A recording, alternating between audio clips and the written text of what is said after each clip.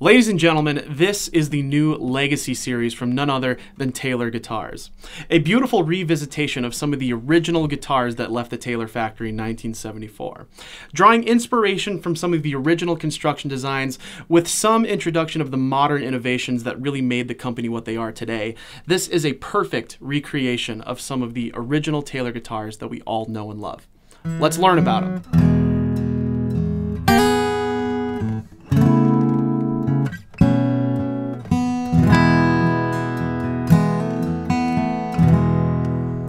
Let's jump into it, ladies and gentlemen. The Taylor Legacy series is the newest line of guitars from the Taylor guitar family.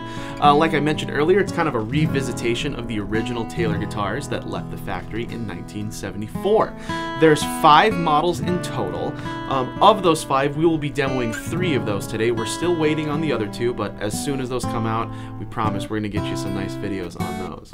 But I'd like to go ahead and start with the Grand Auditorium of the bunch. This is one of two Grand Auditoriums in the series, and this is the 514 CE Legacy. So it features a couple of things. So one, we have a Western red cedar top with neotropical mahogany on the back and sides.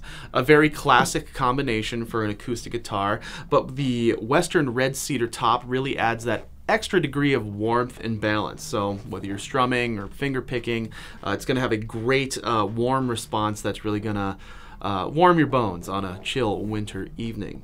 Interestingly enough, all of these are going to be X-braced. There's not going to be any V-class bracing, and that's because that's going to be more authentic to the original Taylors of this time period. The Grand Auditorium was released in 1994, so they're trying again to kind of re-release the original ones that came out. So we're going to see X-bracing on the guitar. We also uh, know that most of the Legacy series, actually all of the Legacy series, aren't going to feature their ES2 electronic system. Now, this particular 514 is very interesting because as you see, we have an ES2 pickup system on there. Could it be a prototype? Could it be a first run, you know, kind of deal? But expect these going forward to have an LR Baggs Element VTC undersaddle pickup system. Very nice response. It's what was on the original Taylor guitars, so keep that in mind. One more thing I wanted to mention about the Legacy series is that the first runs of these guitars are going to have something very unique added to them. Um, on the inside label of the sound hole where they write the serial number, the first runs of these Legacy series guitars are going to be hand autographed by Bob Taylor and Kurt Listug, the original founders of the company, which is a very, very cool addition. I don't believe Taylor has ever done that in any standard series of instruments. So it's a very unique thing. So if you're looking to get something that's, you know, maybe a little bit more unique to your guitar collection, as well as a beautiful playing instrument, uh, get your hands on one of these. And it's worth mentioning that there's been a lot of excitement, you know, amongst us cohorts in the guitar world about these guitars being released. So we expect them to be very popular. If you're curious about these, please get to your local guitar shop and see if you can play one today. Um, you can check us out on Haggerty'sMusic.com. You can send us a message even if you want a sound demo, or come into the shop. We'd love to meet you and you know give you the experience that we're known for.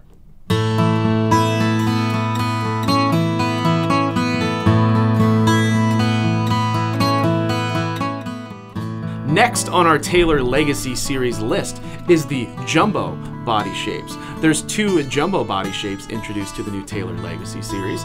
There's an 815, which is a jumbo body six string, which again, we will be releasing a video on very soon, so look forward. And then there's this one, the 855E, jumbo body 12 string acoustic. We all love the chime and ping of a 12 string acoustic guitar.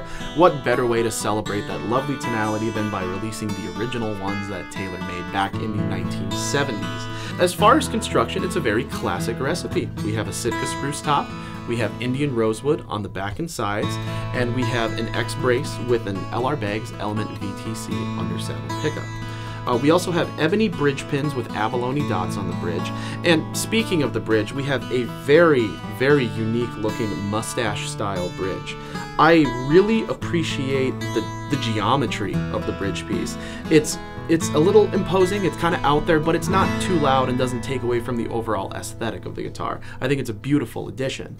Um, we also have diamond inlays and kind of a more of a flatter looking headstock piece. If you look at the Taylors of today, you really tend to notice that the sides here kind of just have a little bit of a curve to them. This flatter, uh, kind of more response to it just kind of gives it a little bit more of that classic look of those original ones that Taylor was making. And you heard me strumming and plucking along on this thing at the beginning of the video. Uh, I'm really impressed by the bass response on these guitars. I think Taylor guitars have a very good reputation of being very balanced across the frequency spectrum, bass, mids, and treble. I think they also have a reputation to maybe sometimes lean on the brighter, more clear side of things. Uh, but this particular guitar, I am thoroughly impressed at how low the bass gets on these. It really gets you that nice low end thump that really shakes your bones while you're playing those chords and uh, will definitely make you feel very inspired to keep playing as soon as you sit down with one. So, uh, marvelous, marvelous guitar. Like, you should try playing this one first when you try these out. It's really, really good. And last but certainly not least, to round off our Taylor Legacy series of guitars, is this, the 810E, uh, the classic dreadnought body shape.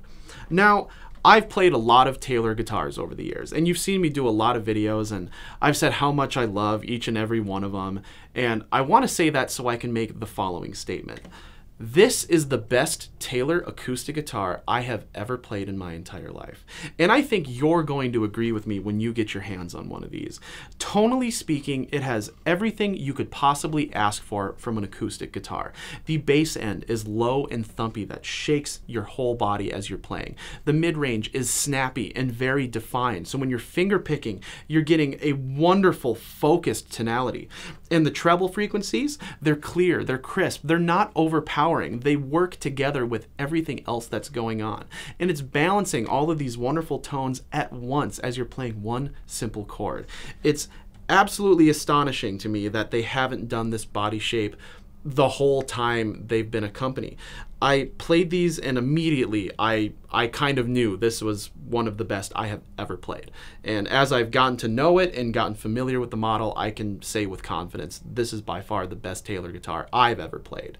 Um, but again, I think you will love this. You need to play one of these. If you are going to play only one Legacy Series guitar for one reason, you're going to play all of them. But if you decide to only play one, please consider this one you need to try it. Thank you.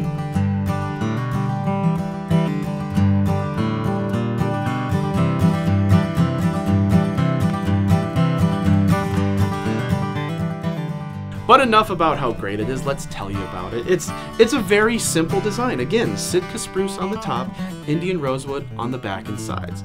We have, uh, again, ebony bridge pins with the abalone dots in them, diamond inlay, the straight ear peg head, just like the jumbo body guitars. It's, by all means, a dreadnought acoustic guitar, the ubiquitous guitar shape that's been around since the early 1900s. It's the recipe by which we compare all other acoustic guitars to.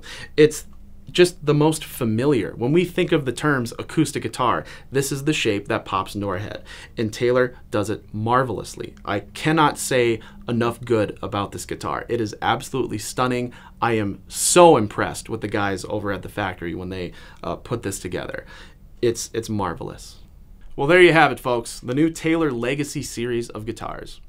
Taylor Guitars has been a company for 50 years now, which is, which is no small feat what better way to celebrate 50 years of business than to make a glorious return to their humble beginnings? It's a crazy story when you think about it. You know, the 1970s, they had just bought the American Dream Guitar Workshop and had to deal with the challenges of a flooded workhouse the first week of starting and barrier after barrier of trying to become a successful guitar company.